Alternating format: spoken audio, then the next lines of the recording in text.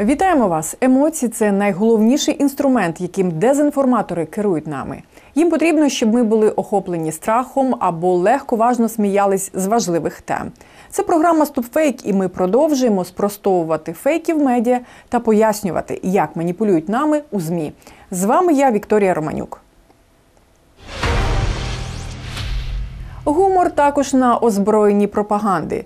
Війну перетворити на жарт. Ось що треба, щоб тисячі зазомбованих громадян, не замислюючись, кинулися в бій. У Фейсбуці існують десятки груп, які щодня просувають проросійську повістку. На тлі накопичення військ біля кордону України.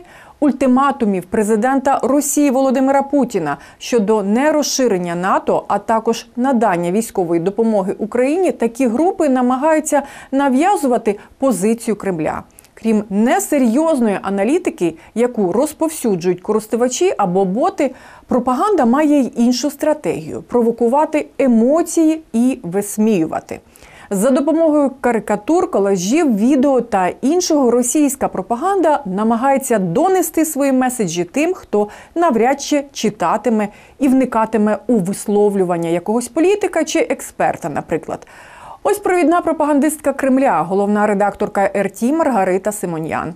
Наприкінці січня вона розмістила у себе на сторінці відео з TikTok, яке висміює президента України Володимира Зеленського та вторгнення.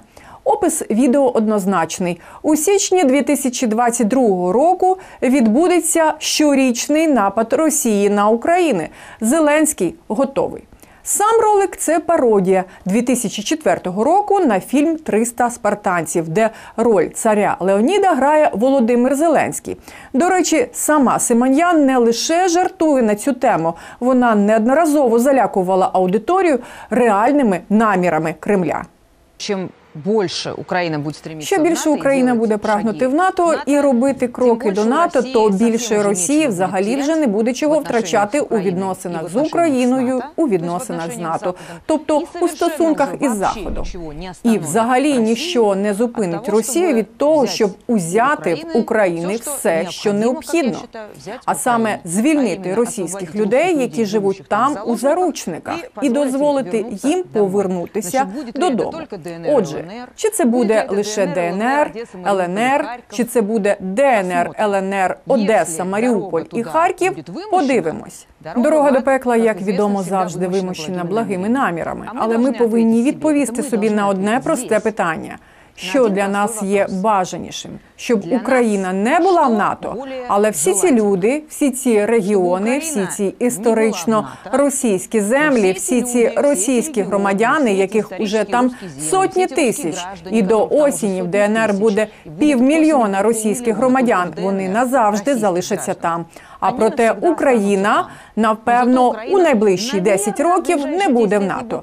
Або ж нехай ця західна Україна, що залишилася, йде собі в НАТО. Проте ми повертаємо своє і рятуємо цих людей. і спасаємо цих людей. Щодо надання військової допомоги Україні, то до цього, на думку дезінформаторів, не варто серйозно ставитись. На цю тему іронізують проросійські експолітики, регіонали.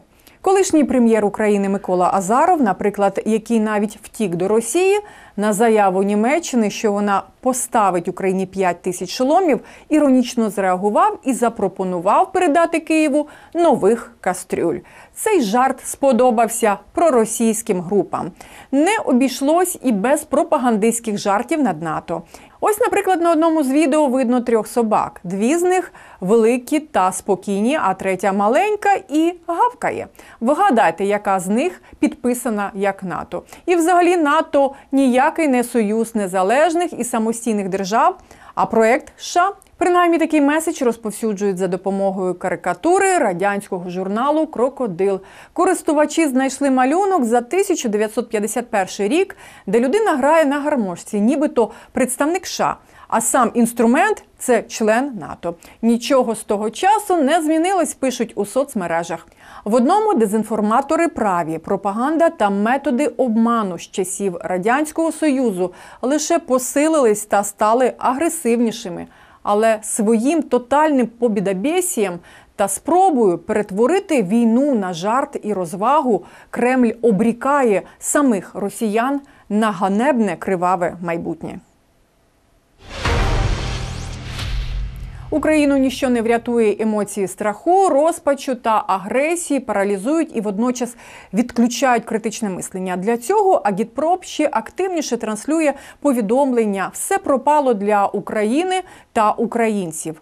Військова допомога Україні оголошується неефективною і такою, що не врятує. Акцентується увага на новинах про евакуацію іноземних громадян. Навіть якщо не розпадеться, то частину території Україна точно втратить. Пише Україна.ру.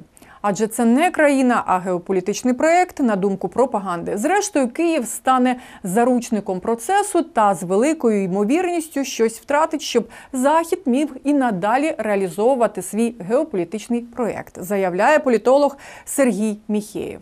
А якщо й не розпадеться, то західні куратори візьмуться за те, щоб кількість жителів у ній звелася до мінімуму, а точніше до 5 мільйонів осіб. Про такі плани заявляє одіозний український утікач, колишній прем'єр-міністр Микола Азаров.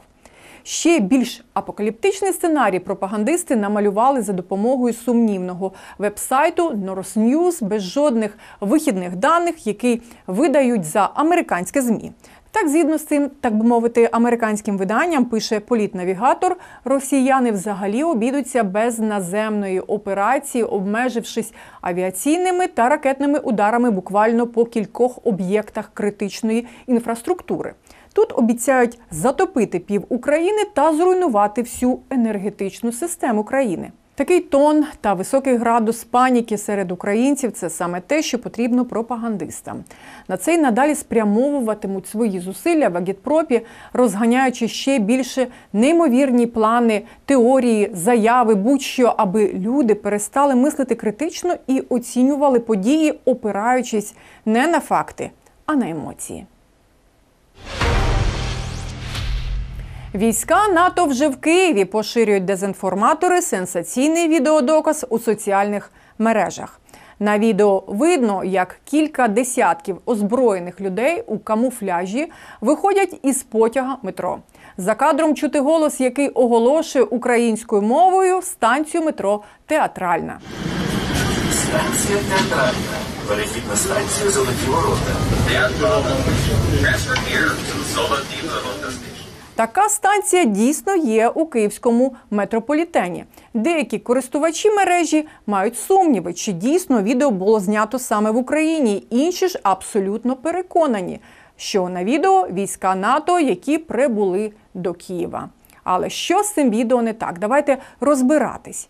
Військові на відео одягнені в камуфляж М90, який використовує лише армія Швеції. Також на нашивках на їхніх рукавах можна побачити прапори Швеції.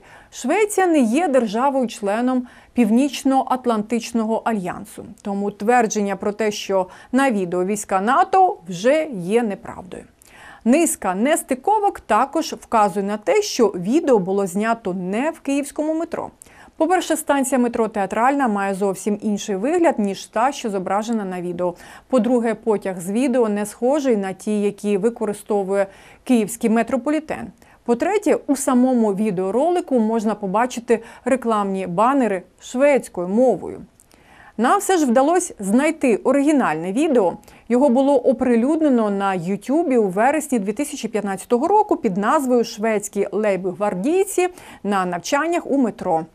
В описі до оригінального відео йдеться, що на ньому зображене навчання з оцінки ефективності громадського транспорту для перевезення військ Стокгольмом.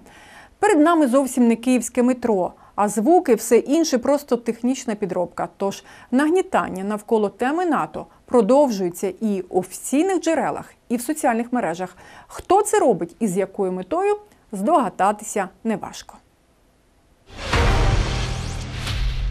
На сьогодні це все. Не піддавайтесь на провокацію, довіряйте лише надійним джерелам, тому підписуйтесь на сторінки StopFake та залишайтеся з нами. З вами була Вікторія Романюк. До зустрічі!